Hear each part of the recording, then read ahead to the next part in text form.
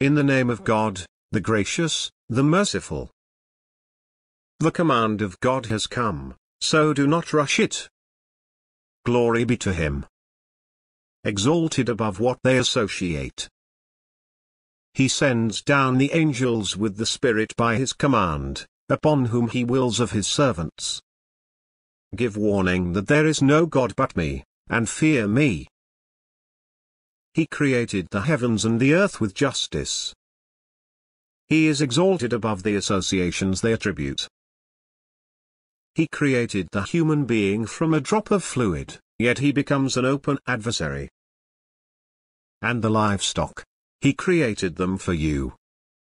In them are warmth and benefits for you, and of them you eat. And there is beauty in them for you, when you bring them home, and when you drive them to pasture. And they carry your loads to territory you could not have reached without great hardship. Your Lord is clement and merciful. And the horses, and the mules, and the donkeys, for you to ride, and for luxury. And he creates what you do not know. It is for God to point out the paths, but some of them are flawed. Had he willed, he could have guided you all. It is he who sends down for you from the sky water. From it is drink, and with it grows vegetation for grazing. And he produces for you grains with it, and olives, and date palms, and grapes, and all kinds of fruits. Surely in that is a sign for people who think. And he regulated for you the night and the day. And the sun, and the moon, and the stars are disposed by his command. Surely in that are signs for people who ponder. And whatsoever he created for you on earth is of diverse colors. Surely in that is a sign for people who are mindful. And it is he who made the sea to serve you, that you may eat from it tender meat, and extract from it ornaments that you wear. And you see the ships ploughing through it, as you seek his bounties, so that you may give thanks. And he cast mountains on the earth, lest it shifts with you. And rivers, and roads, so that you may be guided and landmarks. And by the stars they guide themselves. Is he who creates like him who does not create? Will you not take a lesson? And if you tried to enumerate the favors of God, you will not be able to count them. God is forgiving and merciful. And God knows what you hide and what you disclose. Those they invoke besides God create nothing, but are themselves created. They are dead, not alive. And they do not know when they will be resurrected. Your God is one God.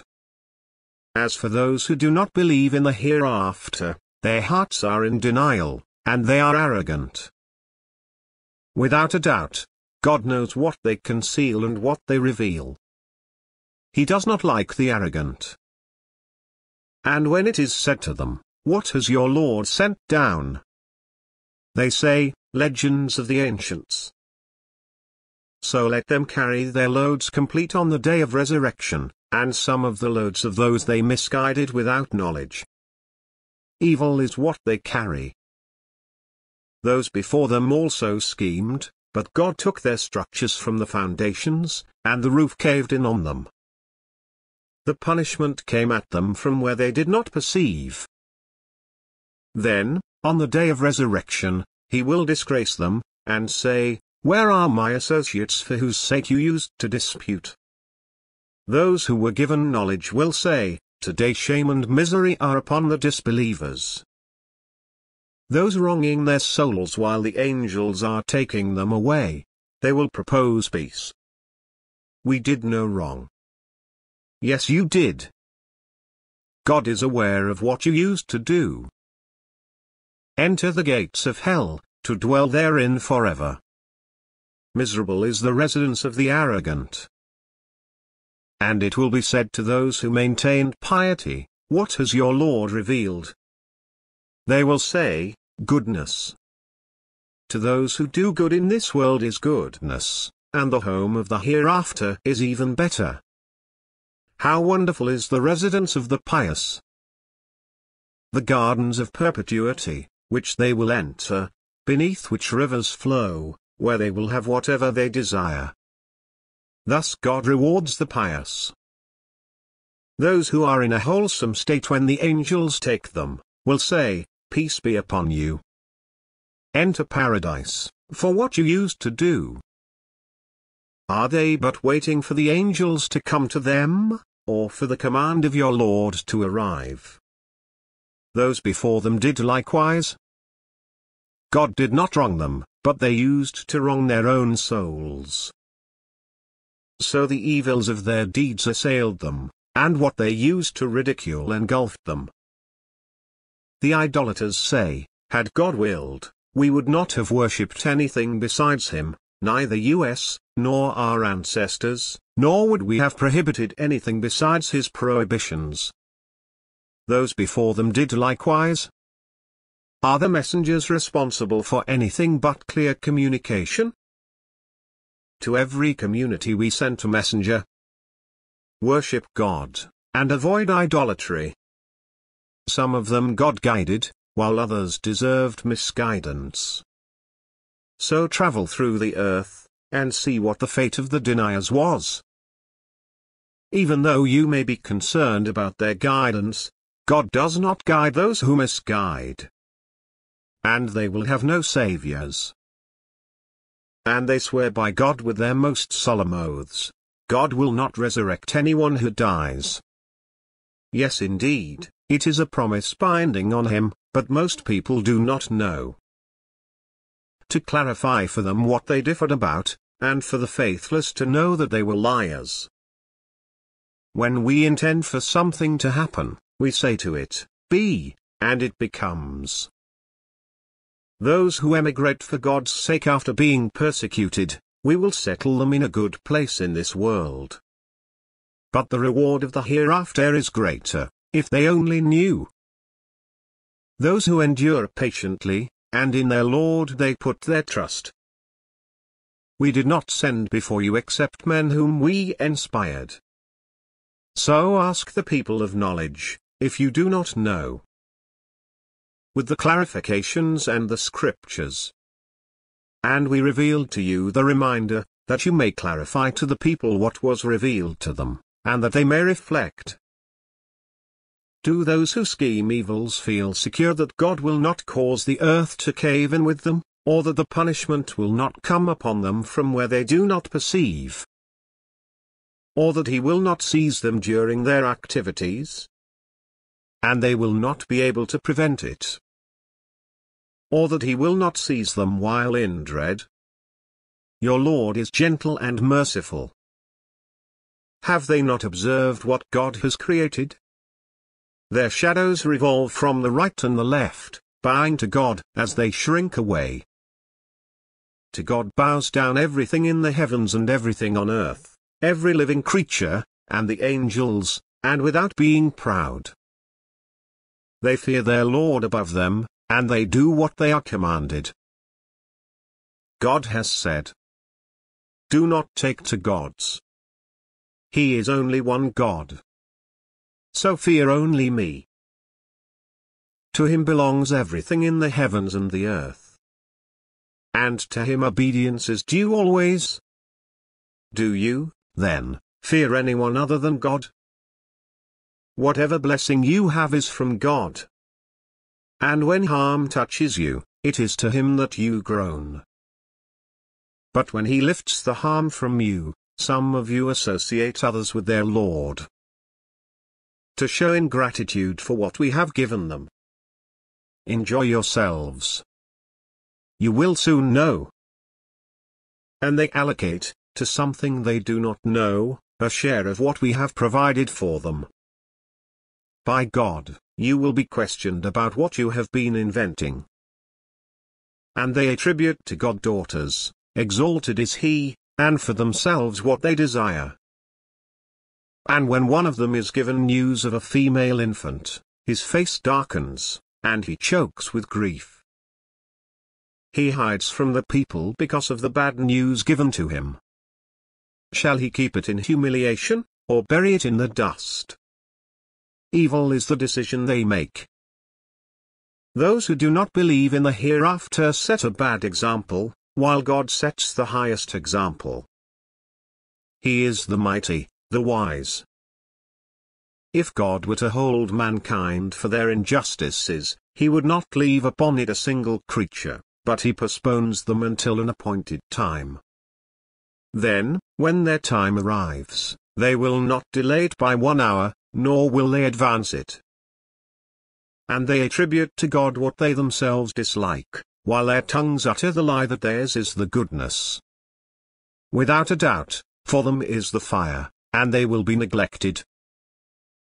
By God, we sent messengers to communities before you, but Satan made their deeds appear alluring to them. He is their master today, and they will have a painful punishment. We revealed to you the scripture only to clarify for them what they differ about, and guidance and mercy for people who believe. God sends down water from the sky, with which he revives the earth after its death. In this is a sign for people who listen. And there is a lesson for you in cattle. We give you a drink from their bellies, from between waste and blood, pure milk, refreshing to the drinkers. And from the fruits of date palms and grapevines, you derive sugar and wholesome food. In this is a sign for people who understand. And your Lord inspired the bee. Set up hives in the mountains, and in the trees, and in what they construct. Then eat of all the fruits, and go along the pathways of your Lord, with precision. From their bellies emerges a fluid of diverse colors, containing healing for the people. Surely in this is a sign for people who reflect. God created you. Then he takes you away. Some of you will be brought back to the worst age, so that he will no longer know anything, after having acquired knowledge. God is omniscient and omnipotent. God has favored some of you over others in livelihood. Those who are favored would not give their properties to their servants, to the extent of making them partners in it. Will they then renounce God's blessings? God has given you mates from among yourselves, and has produced for you, from your mates, children and grandchildren, and has provided you with good things. Will they then believe in falsehood, and refuse God's favors? And yet they serve besides God what possesses no provisions for them in the heavens, nor on earth, nor are they capable. So do not cite the examples for God. God knows, and you do not know. God cites the example of a bonded slave, who has no power over anything and someone to whom we have given plentiful provision, from which he gives secretly and openly. Are they equal in comparison? All praise belongs to God, but most of them do not know.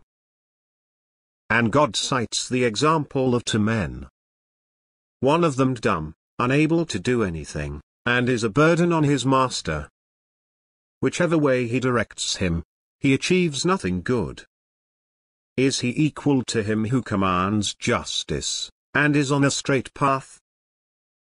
To God belongs the unseen of the heavens and the earth. The coming of the hour is only as the twinkling of the eye, or even nearer. God has power over everything. God brought you out of your mother's wombs, not knowing anything. And he gave you the hearing, and the eyesight, and the brains that you may give thanks.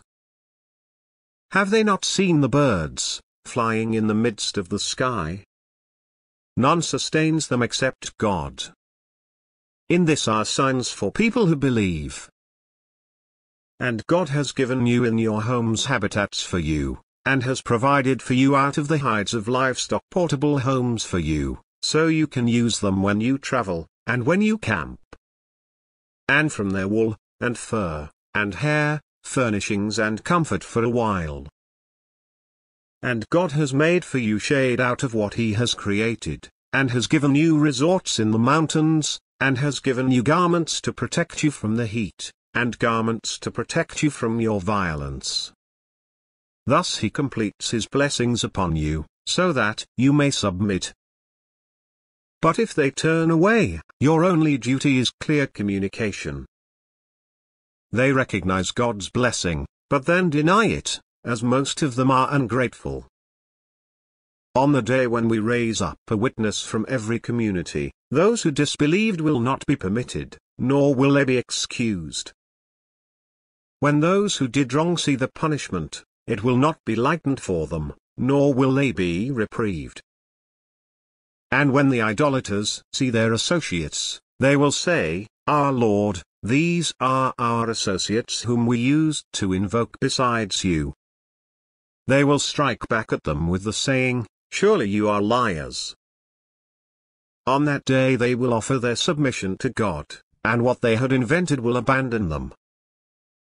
Those who disbelieve and obstruct from God's path, we will add punishment to their punishment, on account of the mischief they used to make.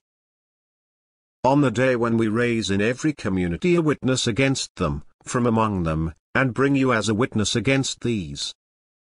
We have revealed to you the book, as an explanation of all things, and guidance, and mercy and good news for those who submit. God commands justice and goodness, and generosity towards relatives. And he forbids immorality, and injustice, and oppression. He advises you, so that you may take heed. Fulfill God's covenant when you make a covenant, and do not break your oaths after ratifying them. You have made God your guarantor, and God knows what you do. And do not be like her who unravels her yarn, breaking it into pieces, after she has spun it strongly. Nor use your oaths as means of deception among you, because one community is more prosperous than another. God is testing you thereby. On the day of resurrection, he will make clear to you everything you had disputed about. Had God willed, he would have made you one congregation, but he leaves astray whom he wills and he guides whom he wills. And you will surely be questioned about what you used to do.